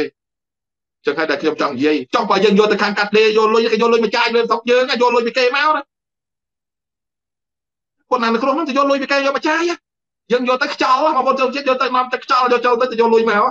ហើយតែបើខ្ញុំនិយាយនាំទៅខ្ចោលអាប្រាក់តែគេអត់គិតពុនហ្នឹងទៅយកលុយពីគេមកណាបងប្អូនចូលជាតិបាននេះនាំខ្ចោលនេះទៅយកលុយមកវាគិតមើលសុបាយចិត្តអត់ ណាសុបាយចិត្តទេបងប្អូនជនជាតិជាពិសេសកម្មករកម្មការនេះបើស្ដាប់ឮអាហ្នឹងជឿចាក់ប៉ុណ្ណា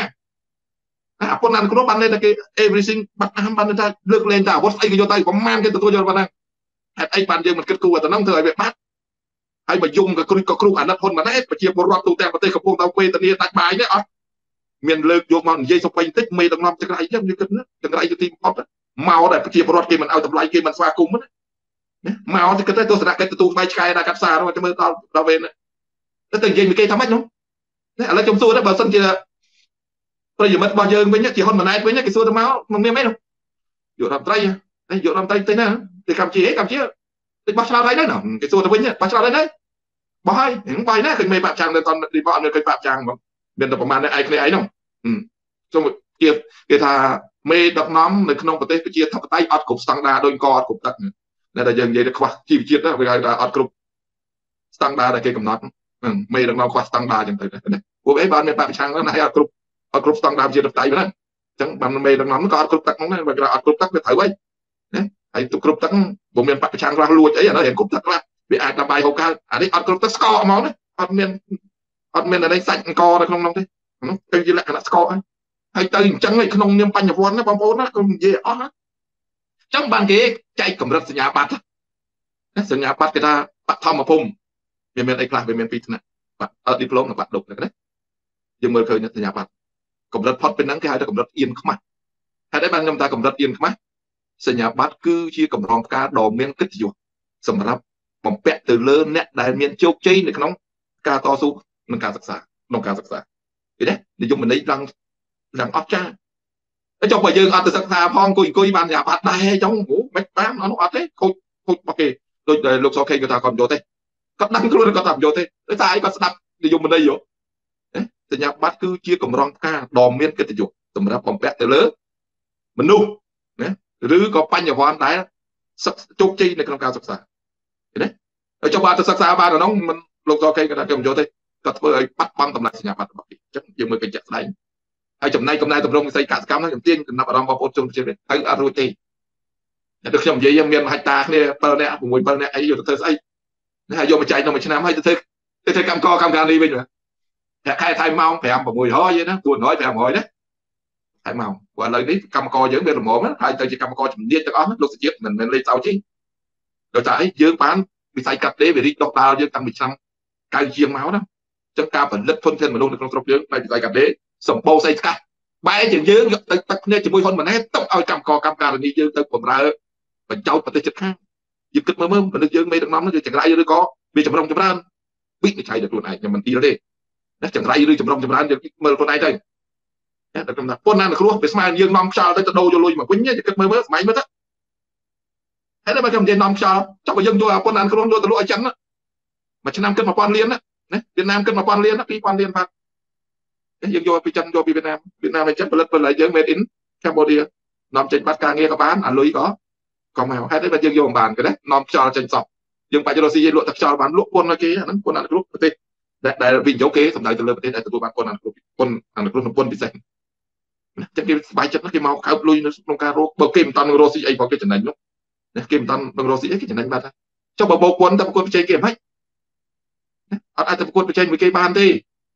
ហេតុអីបានប្រកួតប្រជែងមិនបានគឺតាមរយៈការ ថាត្រាពន្ធការផលិតយើងអត់មានគុណភាពការការ design អីវាអត់មានចំណាប់អារម្មណ៍ចឹងបាននេះកម្រិតនៃការវិខ្ចប់ការ design ការរក្សាគុណភាពយើងមិនមែនជាដៃគូជាមួយនឹងអន្តរជាតិជាពិសេសគឺប្រទេសយួនថៃហ្នឹងឯងយើងអត់អាចទេយើងអត់តាមទៅដល់នោះទេយើងដើរឲ្យលឿនបំផុតក៏25ឆ្នាំដែរបានទៅមុខរួចចឹងមិនតាន់បានអីលោកសេចក្ដីលើកឡើងណាកំណែតម្រង់ក្នុងអាណត្តិថ្មីនេះឲ្យជោគជ័យមិនតាន់ធ្វើកំណែតម្រង់ដីផងណាគិតរឿងថានេះត្រីនៅក្នុងទឹកទេលោកសេចក្ដីខ្ញុំជម្រាបបងប្អូនអនុគ្រោះនៅលើកោកហើយនៅក្នុងឆ្នាំងមកពុះគុជគុជលើកឡើងហូបមកបាន តែអ្វីដែលលោកសេចក្ដីមកនោះត្រីនៅក្នុងទឹកហ្នឹងទេណាប៉ុន្តែមិនដឹងត្រីអីខ្លះនៅក្នុងហ្នឹងមកក៏អត់មានអីក៏មានដែរមានតែតេនោះតែសង្ឃឹមថានឹងចាប់បានត្រីក្នុងទឹកនោះណាទៅលោកក្នុងទឹកទន្លេទៅចាប់ណាលោកតលបកងស៊ីភ្នែកអស់ទៀតក៏ចាប់ត្រីបានដែរឲ្យណាទៅរងដីកសកម្មនៅណាទៅលើកមើលមើលវាអត់មានទេហោងចាក់ផលិតណាក្របធុញជាតិនានាទៅជាកន្លែងផលិតគ្រឿងញៀនអស់ហើយអានោះលឿនជាងលឿនអស់ចេញអានោះអស់ហើយយើងមើលគេចាក់ស្ដែងមិនមែនជាការបរិហាររបស់បពប្រឆាំងទេផលិតគ្រឿងញៀនណាយើងមើលឃើញនៅកន្លែង តំបន់សេដ្ឋកិច្ចពិសេសនៅរោគចាក់ប៉ុណ្ណានៃផលិតគ្រឿងញៀនឃើញទេហើយស្កាត់ឆឹងណាបើទៅទៀតស្កាត់ឆឹងណាដូចថ្ងៃមុនរឿងបង្ក្រាបអរិញក្រុមរំដោះអ្នកទោសជនជាតិចិននោះយើងនាំគេសើចក្រំដល់មើលមុខអត់អត់ចេះជំនាញប្រើប្រាស់អាវុធទេហើយអ្នកនោះខ្មែរទេខ្ញុំប្រាប់ឲ្យហើយខ្មែរហេតុបានខ្មែរពួកខ្ញុំអ្នករៀនសិក្សាផ្នែកច្បាប់ខ្ញុំទៅការប្រព្រឹត្តរបស់ជនល្មើសដឹងច្បាស់ទាំងអស់របស់ក្រៅចេញខ្ញុំប្រាប់មុនខ្មែរទេហើយចេញពីណាខ្ញុំគូសឲ្យចេញមកពីកងអង្គរៈហើយតែខ្ញុំដឹងពីកងអង្គរៈតែខ្ញុំដៃជើងពួកនោះមិនមែនទេខ្ញុំជម្រាបទៅលោកម៉ាក់តូទៅវិញ ខ្ញុំត្រូវស្គាល់គាត់លោកម៉ាក់តូខ្ញុំជម្រាបលោកវិញថាទោះបីខ្ញុំមិនលោកឡន់ធ្វើជាបលិសដែរប៉ុន្តែខ្ញុំអ្នកសិក្សាផ្នែកច្បាប់ចឹងយើងគិតមើលការប្រព្រឹត្តរបស់ជនល្មើសនរណាទទួលខុសត្រូវធំបំផុតក្រសួងការពារជាតិមានលោកទៀបបាញ់ជាប្រមុខចាប់ទាបាញ់នោះមុនគេអាណានអវត្តមកក្រោយមកគេបែងចែកទៅតាមស្ថាប័នអញ្ចឹង PM និងបលិសប្រើប្រាស់អាវុធរៀងច្បុកច្បល់គ្នា និងទាហាន អាចច្បុកច្បល់គ្នាខ្លះប៉ុន្តែទាហានវាប្រើអាវុធធំធំ PM អត់មានអាវុធធំធំទេប៉ុន្តែមានអាវុធស្វ័យប្រវត្តិដូចគ្នាចំណែកកងអង្គរៈខ្ញុំជម្រាបបងប្អូនជនរំជាតិជាពិសេសគឺកងអង្គរៈហ៊ុនសែនតែម្ដងអាវុធអង្គភាពនានាអត់មានប្រើប្រាស់ទេអត់មានប្រើប្រាស់ទេអាវុធអង្គរៈគឺបាត់ដាច់ហេតុអីបានជាខ្ញុំដឹងខ្ញុំបែករឿងនៅក្នុងព្រឹត្តិការណ៍ឆ្នាំ2008ក្រោយប៉ះទង្គិចគ្នានៅកងរវាងកងកម្លាំងថៃនិង កម្ពុជានៅព្រំដែននេះគឺលោកហ៊ុនម៉ាណែតនេះឯងជាអ្នកបញ្ជាការហៅថាកម្រងការចំណាយទាំងអស់ទៅលើអាវុធគឺគ្រប់ក្រុមហ៊ុនទាំងអស់ណាគេដាក់សិភៅមកយើងបើកមើលទាំងខ្ញុំក៏បានបើកមើលសិភៅតារាងថ្លៃទេរត់ក្រោះថ្លៃប្រមាណអា10បាញ់យន្តហោះប្រមាណមិនមានទាំងអស់បងប្អូនជនជាតិជាពិសេសគឺក្រុមហ៊ុនសិង្ហបុរីហ្នឹងតែម្ដងខ្ញុំអត់ជឿថាសិង្ហបុរីនឹងមានអាវុធច្រើនដល់ម្លឹងមិនមែនផលិតនៅសិង្ហបុរីទេប្រទេសនានាគឺក្រុមហ៊ុនសិង្ហបុរីរកស៊ីអាវុធធំធំមែនតើចិត្តគេមានតារាងរបស់គេ អចិនក៏មានអ៊ីរ៉ង់ក៏អ៊ីរ៉ង់ក៏មានស៊ីរីក៏មានណាយើងកាលព្រឹត្តិការណ៍នៅថៃកំពុងតែកំងកំងទិញរថក្រោះពីសេរីវាថោកទៀតអ៊ុយក្រែនថ្លៃហ៎រថក្រោះអ៊ុយក្រែនអ៊ុយក្រែនថ្លៃអញ្ចឹងខ្ញុំទៅអង្គុយមើលគេកំងអាហ្នឹងបានខ្ញុំដឹងរឿងអញ្ចឹងកងអង្គរៈអត់មានអាវុធច្របុកច្របល់ទេខ្ញុំជម្រាបបងប្អូនជនជាតិឲ្យច្បាស់អញ្ចឹងបានតែគាត់ចេញកំភ្លើងមកខ្ញុំដឹងកងអង្គរៈទៅសួរហ៊ីងមិនហៀងទៅហើយហ៊ីងមិនហៀងឆ្លើយអត់ត្រូវទៅឆែកមើលនៅក្នុងក្រសួងការពារជាតិព្រោះក្រសួងការពារជាតិជាអ្នកនាំអាវុធមកទាំងអស់អញ្ចឹងបីកងអង្គរៈគាត់យកមកច្រកតាមក្រសួងការពារជាតិយកមកហើយបានវាចំទៅតាមអង្គភាពមួយមួយទៅទៅហ៊ានផ្សេងទៅយោធាផ្សេងទៅ PM ផ្សេងទៅប៉ូលីសផ្សេងទៅកងអង្គរៈដាច់តែឯងអត់មានអាវុធដូចគេទេណាខ្ញុំជម្រាបបងប្អូនជនទៀតបើមានរឿងអីចាប់អាវុធនឹងឲ្យជាប់បើអាវុធហ្នឹងវាអត់មាននៅក្នុង PM វាអត់មាននៅក្នុងប៉ូលីសវាអត់មាននៅក្នុងទាហានហើយបានន័យថាចេញពីអង្គរៈហើយចឹងអង្គរៈរបស់លោកហ៊ុនសែន100%គាត់លំអិតណាស់ ឥឡូវលោកសុជាតិនៅក្នុងនេះក៏ក៏ដូចអ្នកស្រីសុសេមក៏បងប្អូនជនជាតិអត់ដឹងលោកហ៊ុនសែនកំណែក៏មានធ្វើកំណែតម្រង់អង្គរៈទេចាគាត់ធ្វើកំណែតម្រង់អង្គរៈទេគឺគាត់ឈប់យកហើយអ្នកដែលចាក់សាក់គឺគាត់អត់យកទេអ្នកដែលញៀនឆ្នាំគឺអត់យកទេព្រោះគាត់អីគាត់ដាច់ដែរគាត់ខ្លាចពួកអត់នឹងបាញ់អញ្ចឹងគាត់គាត់ធ្វើកំណែតម្រង់ហើយគាត់យកក្រៃឡាបដាល់យកមកហាត់ទៅកងអង្គរៈតែផ្លែកអាណត្តិនេះអរគុណខាងក្លឹបកីឡាដែរណាមានខាងឆ្អេងផលិតកីឡាលក់ឲ្យហ៊ុនសែនអញ្ចឹងយកយកកងអីកីឡាករទាំងអស់ហ្នឹងផលិតទៅជាកងអង្គរៈពិសេសរបស់លោកហ៊ុនសែនព្រោះអីហ៊ុនសែនចាប់ដើមលេងទុកចិត្តទៅក្នុងហើយអញ្ចឹងកាត់បន្ថយការប្រើប្រាស់អាវុធកាត់បន្ថយការប្រើប្រាស់អាវុធតាមរយៈប្រើក្រុមកីឡាបដាល់ទាំងអស់ហ្នឹងអញ្ចឹងអ្នកបដាល់ផលិតទៅនឹងឲ្យទៅណាយើងមើលឃើញរូបភាពស្ដែងហើយកងអង្គរៈផ្សេងទឹកតែភាគច្រើនកីឡាបដាល់ចឹងកីឡាបដាល់មានក្របខ័ណ្ឌមន្ត្រីកងអង្គរៈតែម្ដងទីប្រាក់ខែក្រសួងការពារជាតិណា ហើយចឹងវាអត់ពិបាកទេយើងមើលឃើញតែប៉ុណ្ណឹងយើងដឹងគាត់ទៅវិញមកប៉មកចតោឆ្លើយបិបបិបបិបបិបបិបបិបមិនតាន់ឆ្លើយឆ្លើយអីមើលអាវុធវុធកងអង្គរៈបាត់ហើយហ្នឹងចាំបាច់ទៅឆ្លើយអង្គភាពមួយណាចិត្តចុចទៅហ៊ីងមនាងដែរហើយអ្នកបែងចែកអង្គអាវុធទៅតាមអង្គភាពវាមិនមានលេខកោតរបស់វា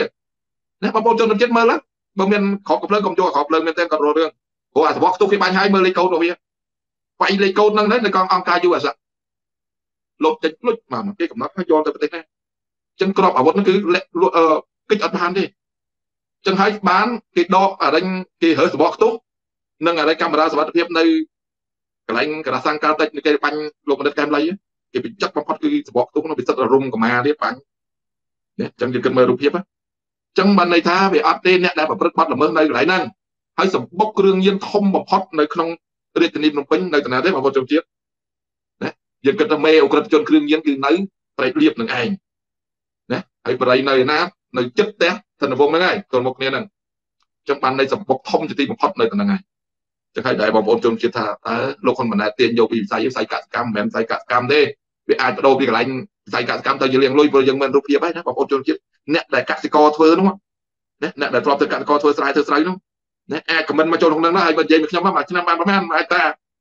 ណាបើធ្វើប្រឹងតាមធម្មជាតិយើងមុនអត់លើស3តាមកន្លះទេអាល្អផុតហើយ3តាមកន្លះឲ្យគុណមើលទៅ ហើយ3តាមកន្លះហ្នឹងមួយឆ្នាំតែឥឡូវគេមានបច្ចេកវិទ្យាទំនើបគេមានពូជល្អដាក់ឲ្យ2ដងចុះខ្ញុំ7តោននៅខ្ញុំនិយាយមិនហិចតានេះខ្ញុំលើកឲ្យ2ដងអញ្ចឹង7តោនហើយធៀបទៅមើលដីដីពីដើមហេតុអីបានដីឥឡូវគេប្រើប្រាស់ជីច្រើនជាងពីអតីតកាលអញ្ចឹងបងប្អូនកម្មករកសិករអាចដឹងថ្ងៃនេះខ្ញុំជម្រាបទៅមូលហេតុអីបានយើងប្រើប្រាស់ជីពីមុនមកយើងអត់ប្រើប្រាស់ជីដោយសារអីទីមួយការបាត់បង់ព្រៃឈើគម្របព្រៃឈើវាស្លឹកណា គ្របដណ្ដប់អព្រៃឈើគ្របដណ្ដប់ទៅលើផ្ទៃដីយើងទៅមូលរហូតដល់70%ណាយើងគិតទៅសិតតែព្រៃត្រូវកាត់កំទេចអញ្ចឹងសួរតាលឹកឈើដែល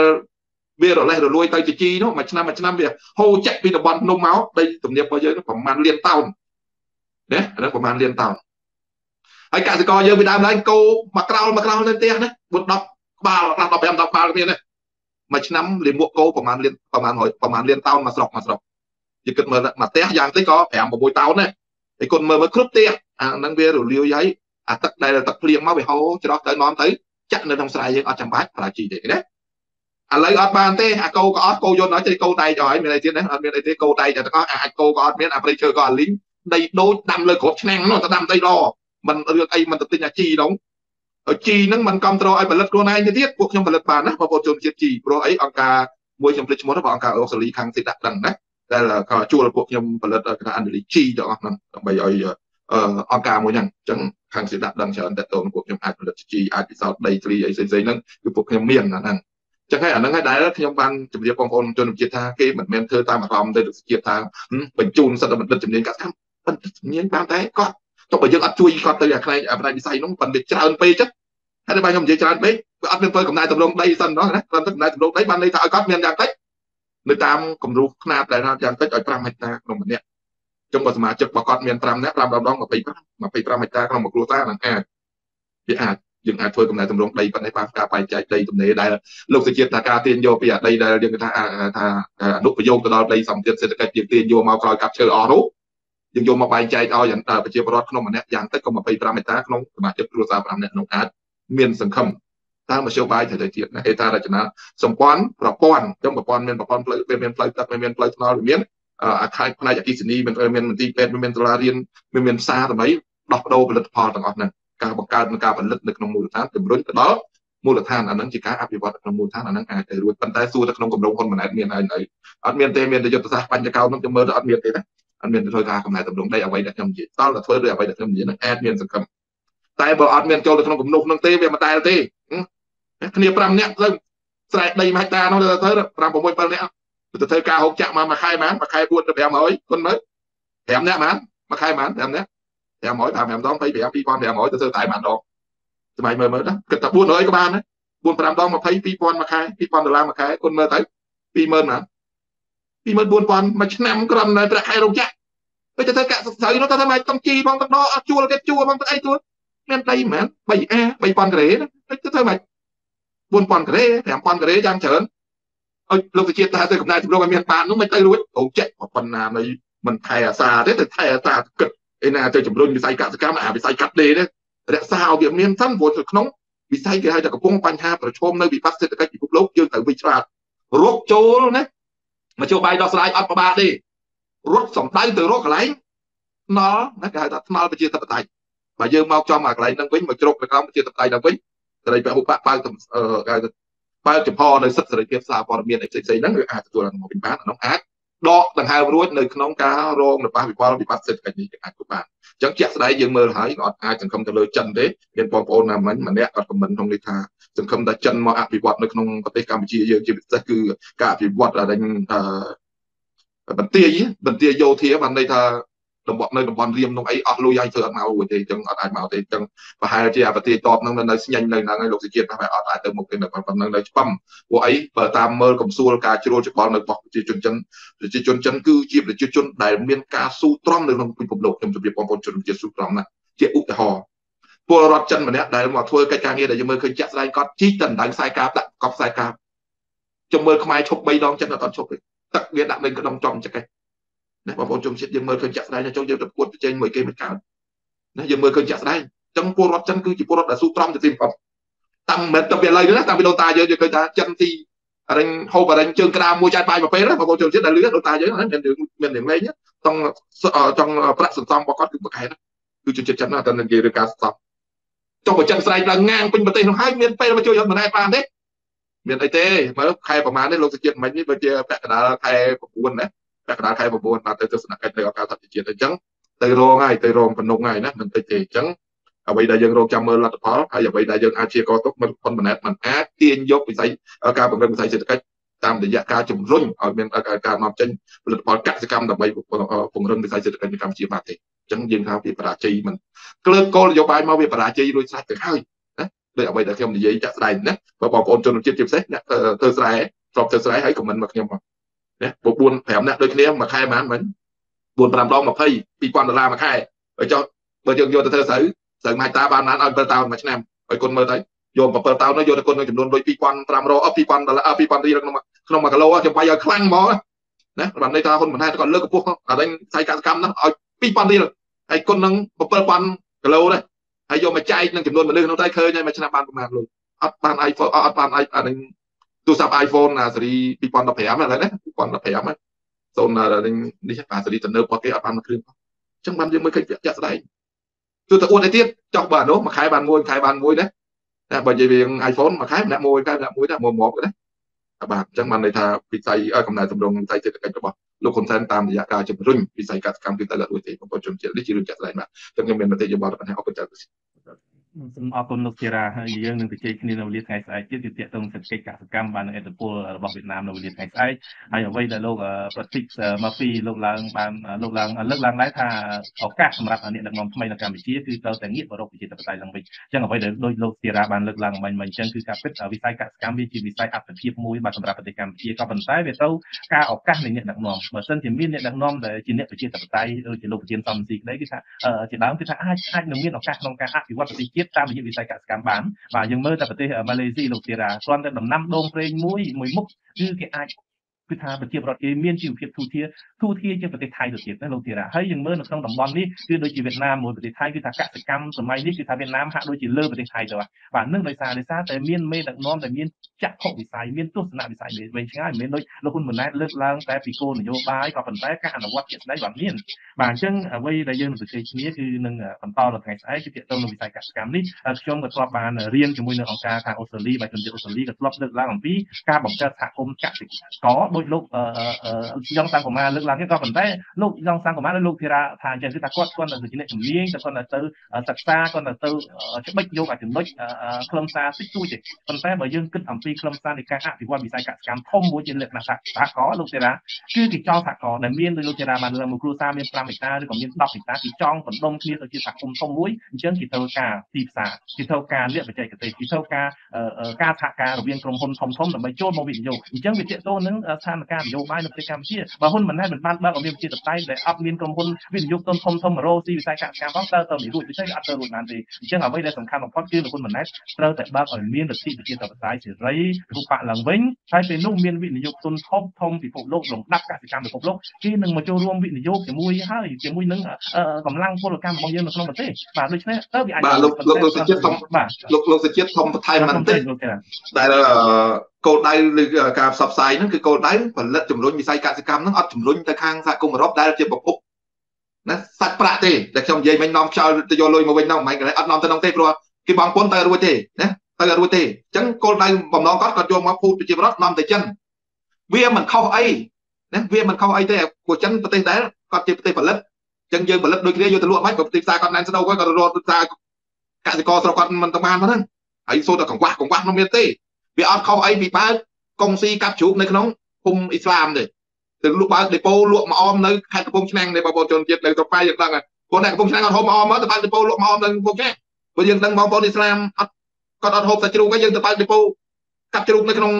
ភូមិអ៊ីស្លាមដូចគ្នាបងប្អូនជនជាតិបាច់ឧទាហរណ៍មើលតែប៉ុណ្្នឹងបានហើយអញ្ចឹងប្រទេសដែលជាការគោលដៅនៃការនាំចេញវិស័យកសិកម្មគឺសំដៅទៅលើចិនហើយតើស្វែងរកខ្ញុំឃើញទៅត្រកដែរណា មិនអត់នេះឃើញដែរឃើញទៅត្រប់ដែរបើត្រប់តំតាគេផលិតនឹងទៅរកអាប្រទេសដែលផលិតស្រាប់នឹងអាប្រទេសផលិតហ្នឹងគឺគឺអាប្រទេសដែលគេនាំចេញហ្នឹងហើយទៅរកទីផ្សារហ្នឹងហើយអញ្ចឹងបានន័យថាគេអត់ត្រូវការនាំពីយើងចូលទៅទៅអីទេយើងគិតមើលប្រទេសយើងគ្រាន់តែបាត់ដំបងមួយចំជាប្រវត្តិមួយប្រទេសរស់គាត់ទៅយកជំនួយពីកូរ៉េខាងត្បូងឲ្យអង្គប្រមាណពីដូចជាប្រមាណ250តោន250តោនតាមប្រមាណឆ្នាំខ្ញុំសូត្រតែគ្រាន់តែទទួលយកអង្គពីគេវិញខ្ញុំប្រាក់តាមគ្រូខ្ញុំខ្មាស់គេហ្មងណាខ្ញុំខ្មាស់គេនិយាយអស់អង្គកដែលនិយាយរួមគេសម្រាប់តែ អ្នកដែលអត់ឃ្លានទេតែប្រទេសយើងជាប្រទេសកសិកម្មតែយើងយកមកពីអានោះបើខ្ញុំជាមនុស្សវិញខ្ញុំស្នើសុំរដ្ឋាភិបាលកូរ៉េដូរយកអាគ្រឿងយន្តកសិកម្មយកមកបកគលឲ្យសហគមន៍វិញជាការល្អព្រោះអីខ្ញុំជម្រាបបងប្អូនជនជាតិមេដឹកនាំកញ្ជើឆ្លុកដែលទៅពីផុតអាណាថៃបន្តឲ្យកូននេះអង្គការរដ្ឋាភិបាលជប៉ុនក៏ដូចរដ្ឋាភិបាលកូរ៉េគេឲ្យអាចាស់ចាស់ហ្នឹងគេឲ្យមកទេតែគ្រឿងយន្តកសិកម្មអត់មានពន្ធទេគេឲ្យមកតែទៅយកមកតែយើងយកមិនលក់ឲ្យអាក្រុមហ៊ុនហ្នឹង ខ្ញុំនិយាយអស់គេខ្មាស់ឯងអាកក់ស្ដាប់ទីទៅតែពិតក្រុមហ៊ុនរដ្ឋាភិបាលកូរ៉េតាមរយៈក្រុមហ៊ុនគេជួយទៅដល់ប្រទេសក្រីក្រគេឲ្យអាគ្រឿងយន្តកសិកម្មហ្នឹងឲ្យតែទេមកហ្មងហ្នឹងហើយយកមកដល់អត់មានយកទៅដាក់ឲ្យសហគមន៍ទេលក់ណាចឹងខ្ញុំជម្រាបលោកសុជាតិថាគេបង្កើតម្ដងដោយសារបោះឆ្នោតចាញ់គណៈបកប្រឆាំងទៅគេឈប់ដកមកវិញទៅគេហៅថាមជ្ឈមណ្ឌលពិសោធន៍កសិកម្មត្រូវឲ្យមានគ្រប់ស្រុកណាអានឹងខ្ញុំប្រាប់តកោដៅមួយទៀតមជ្ឈមណ្ឌលកសិកម្មត្រូវតែមានគ្រប់ស្រុកសួរតើលោកហ៊ុនសែនមានដែរបង្កើតមជ្ឈមណ្ឌលពិសោធន៍កសិកម្មហ្នឹងទេមានបន្ត ប៉ុន្តែក្រោយបោះឆ្នោតចាញ់ដកមកវិញបងប្អូនជនរួមជាតិអ្នកនៅខាងស្អាងណាគេហៅថាក្រាំងយើណាខ្ញុំនឹកឃើញខាងក្រាំងយើណាតំបន់ក្រាំងយើគឺជាតំបន់ទី1ដែលបង្កើតមជ្ឈមណ្ឌលកសិកម្មមុនគេនៅក្នុងស្រុកខ្មែរដែលខ្ញុំមើលទៅគឺខ្ញុំឲ្យតម្លៃខ្ពស់ណាប៉ុន្តែចុងក្រោយលោកហ៊ុនសែនមកបុកលោកបោះឆ្នោតចាញ់ទៅដកទៅទឹកតិចអស់លេងចូលដល់ក្នុងកាត់តិចបាត់អានោះបាត់ណាមនុស្សចង្រៃមែនណានិយាយគិតមើលណាបើភើអញ្ចឹងបានគ្រប់ស្រុកណាលោកសុជាតិអាហ្នឹងអាចណាពេលបង្កើតមជ្ឈមណ្ឌលពិសោធន៍កសិកម្មនៅក្នុងហ្នឹងមានរឿងអីភ្លាម ឲ្យចុះក៏លោកជាតិឯងធ្វើទៅដល់ក្រាស៊ីកដោកាត់ក្តាមកាត់អាឡែងទៅមកសិក្សាអស់បាត់អាលួយអស់បាត់នោះមានស្អីទៀតណោះអាឡែងតែស្រូវអស់ទឹកវាស្កអស់អាលេងបាត់ហើយ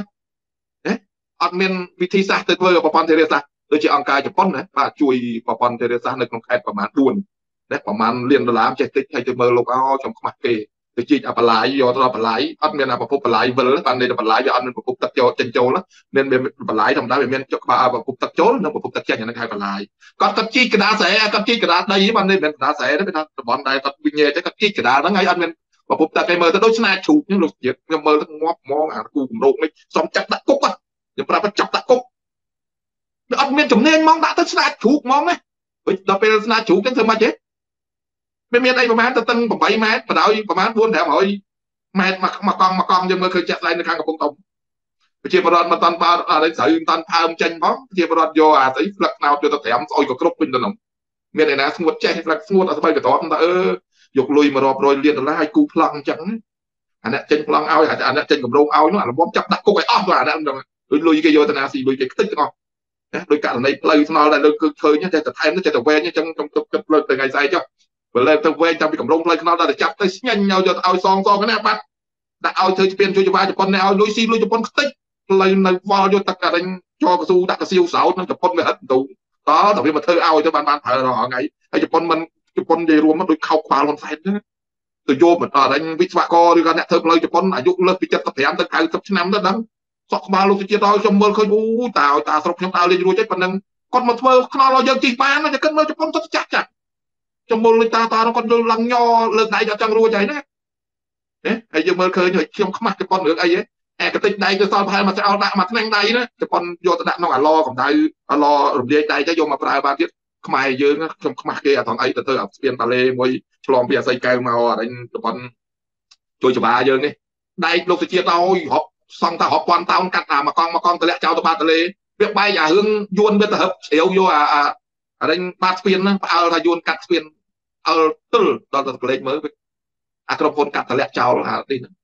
មានឯណាយួនទៅរឹបរោឲ្យផ្អើលកាត់ស្ពានហ្នឹងរឿងខ្មាស់ទេខ្ញុំនិយាយរួមក៏ចូលធ្លុះហ្មងដាក់អីស៊ីហ្នឹងហ្មងនិយាយរួមអស់គួយមកស៊ីមកនៅគ្មានអីមិនមែនអត់អ្នកជំនាញមានប៉ុន្តែចាំដល់ឯងចិត្តតែអាអ្នកជំនាញមានប៉ុន្តែអង្គុយក្រោយដូចដិតសុកទូចឹងណាកុំចេគាត់ខ្ញុំស្គាល់គាត់គាត់មានចំណេះដឹងដូចបណ្ឌិតយ៉ងសាំងខ្មែរមិនមែនគាត់ចេះទេប៉ុន្តែគាត់អ្នកសរសេរកម្រង